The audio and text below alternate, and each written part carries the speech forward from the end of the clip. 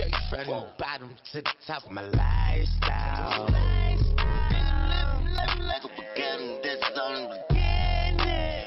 Came straight from the bottom to the top of my lifestyle.